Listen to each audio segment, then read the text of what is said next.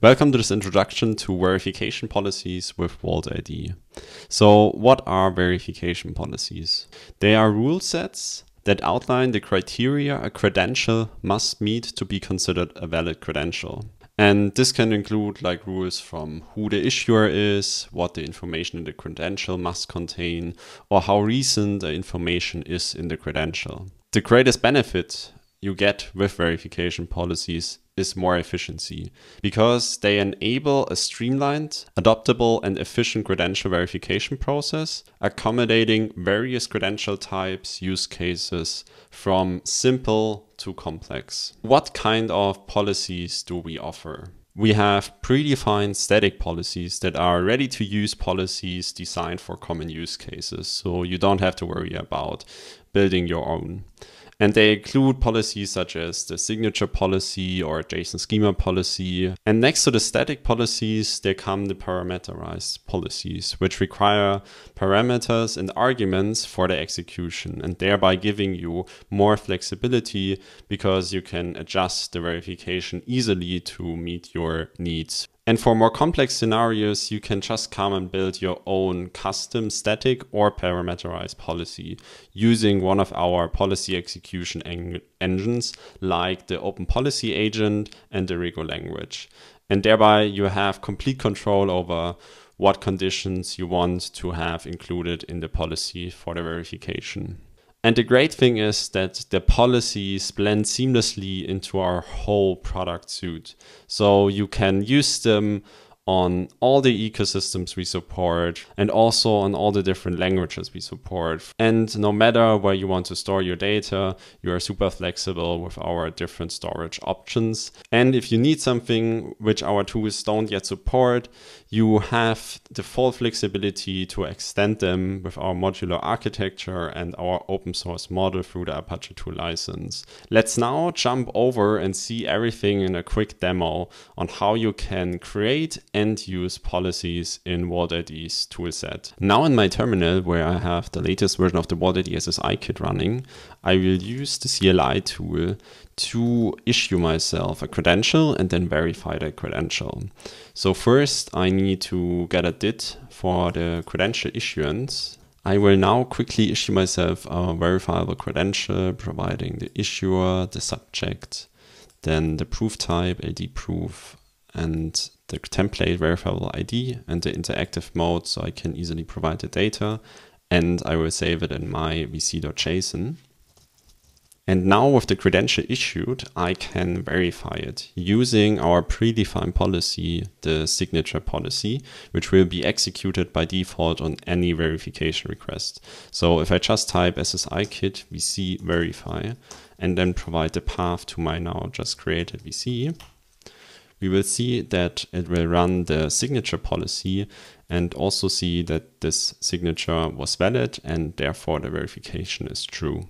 Let's now jump over to the REST interface where we create our own custom policy and then use it to verify a credential against. In order to get access to our REST API, we can run SSI kit and then serve. That will bring up our API. And now we need a few things. So first I have the signatory API, which we will be using to import our template, so our VC template.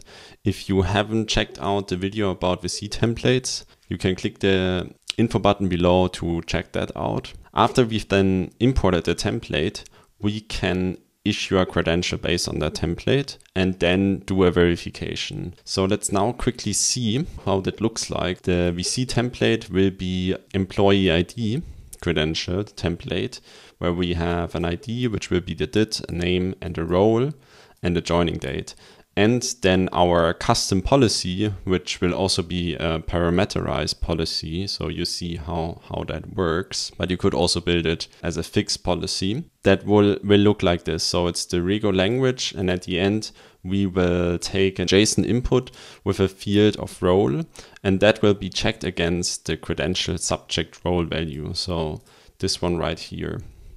And what we could do to make this not a parameterized policy, but a static one, we could just remove that and check against, let's say, uh, engineer and rename that policy to is engineer.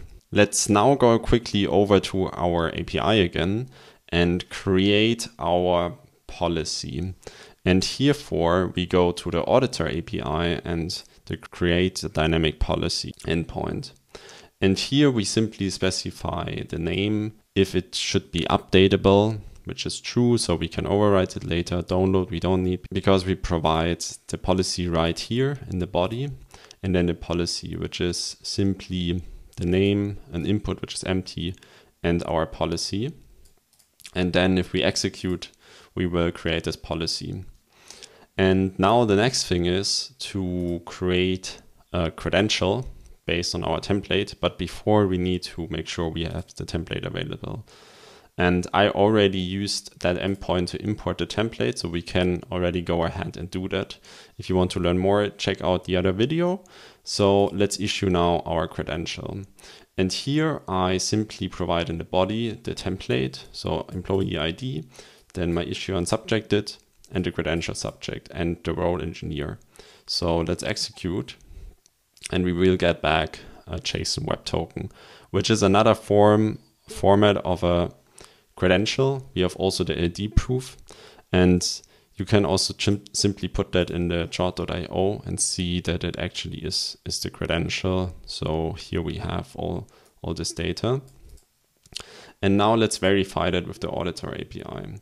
And herefore, I simply go to verify and provide again the policies. So here, a list of policies. First, the signature policy I want to execute on a credential. And now our new custom policy, which is the is role policy, and our argument, which is role and engineer and then the credential. So yeah, I could also list here multiple credentials, but I just paste this one. And now if we see, we get back true. So the signature policy was passed as well as the is role policy. So start today and verify your first VC using predefined and custom policies. Visit walt.id slash SSIKit or go directly to our docs to get started. Happy building and see you next time.